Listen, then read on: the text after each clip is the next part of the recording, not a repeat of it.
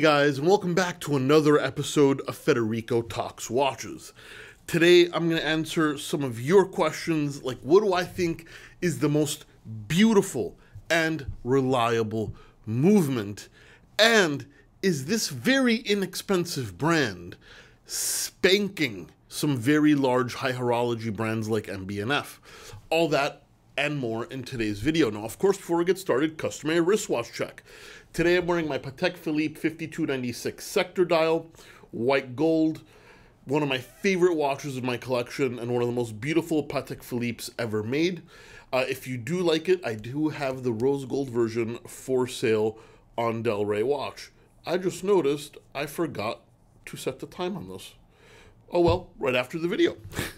and also, guys, don't forget to check out DelrayWatch.com. A bunch of new watches in stock as we're updating about 20 to 30 pieces a day, including an Omega Speedmaster from the moon to Mars, one of the most popular and sought after limited edition Speedmasters. We have the Glashütte Original Sport Evolution Panorama Date, the precursor to their famous SeaQ, and some say a much higher end sports watch than the SeaQ, very rarely seen, and we have one available. And one of the rarest watches and highest end watches we've ever had the pleasure of offering, a Lang & Heyne Johann. Lang & Heyne is a very small German brand. Um, they make, uh, if I had to guess, under 200 watches a year. This is an entirely handmade watch, handmade movement, enamel dial, and the Johann is part of their history. It's one of the very early production models. Super hard to get, extremely high end, and you will never find a better price than you will right now at Delray Watch. Anyway, all that and more at delraywatch.com, the best place for a watch geek to buy a watch. Link in the description below. Anyway, guys, you know the spiel. These are the questions you ask me on Instagram.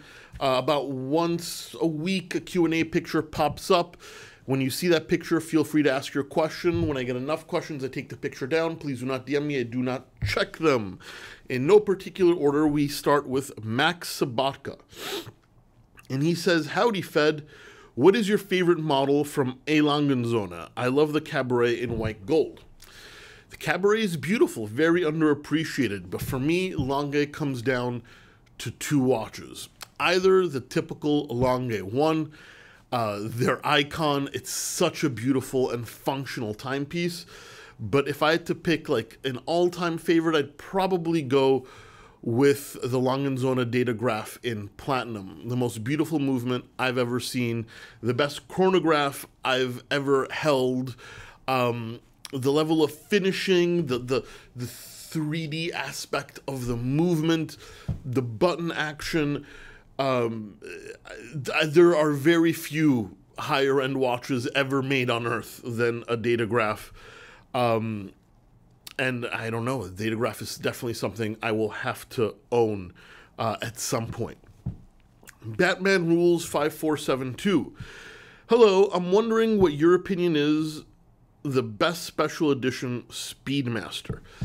So if we're going to go with modern special edition Speedmasters, there's only one that I think matters, and that is the Ed White with the 321 movement. Yes, kind of looks like a normal Speedmaster, but there's real substance in this limited production. It's limited production, not limited edition. And it's the 321 movement, the old school column wheel chronograph they used to put uh, in the Speedmasters just a much higher end watch, much higher end movement. Yes, it's much more expensive, but the substance here is in the watchmaking, not just a Snoopy on the dial. BGC Bubba. Who, in your opinion, has the most beautiful movement and who has the most reliable? Well, the most beautiful movement for me is definitely Lange&Söhne, as I said. The datograph, the double split, any of their chronograph movements are gorgeous. And on top of that, they're the most reliable, in my opinion, high horology movements uh, ever made. I've very rarely seen a Lange with a problem. Now, of course, would I consider Rolex more reliable? Sure. But a much simpler movement, uh, much less complication, much less finishing, totally different functions. But if we're talking about high horology, then Lange is not only the most beautiful, in my opinion, but also the most reliable, in my opinion. Daniel Gross 7.3. Fed, do certain in innovative micro brands pose a long term threat to larger, more established brands by offering similar quality at a much lower price point? Case in point, the Christopher Ward Bel Canto versus similar looking MB&F models at 20x the price. Interesting question. And I I I don't agree, but I see why you would think that. Uh, Christopher Ward is a fantastic watch, and the Bel Canto is a fantastic movement, an innovative innovative movement, and a movement that offers fantastic bang for the buck. However, where I disagree is you said similar quality, and I don't consider Christopher Ward to be in the same universe as MB&F. Yes, they're both watches, and yes, Christopher Ward offers a, a beautiful watch, but MB&F is much more complicated. It's the hand finishing is million times better than any finishing Christopher Ward does. Um, the price you're paying for the MB&F is because of the handiwork. And I think the customer that wants the MB&F can afford the MB&F, they might like a Bel Canto, but the Bel Canto's not going to replace anything made by MB&F. That's not a negative thing towards the Bel Canto. It's it's a positive towards the MB&F. Um, you're paying for hours and hours and hours of labor. Now, is it worth the price? Only you, the customer, can decide. The Bel Canto is definitely worth worth the price. I think. I think, but in my opinion, uh, you cannot compare a Bel Canto to an MB&F. They're not the same thing. They're not the same quality. They're not the same anything apart from a watch, in my opinion. And then last but not least, Watch Lounge Chris. What is your favorite watch brand? Now, this is a loaded question because I love all watch brands.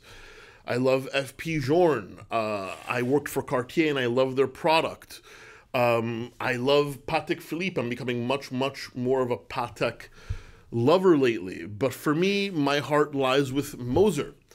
I love everything about them the designs, the quality, the price point the leadership, the executive team, um, the marketing message. It's just at this moment in time, and, and for the past four or five years, Moser has definitely been my favorite brand, and I don't see that changing anytime soon. Anyway, guys, that's it for today. Please give this video a thumbs up if you enjoyed it. It really does help. Don't forget to subscribe so you don't miss any more content. And of course, I will catch you in the next one. Take care.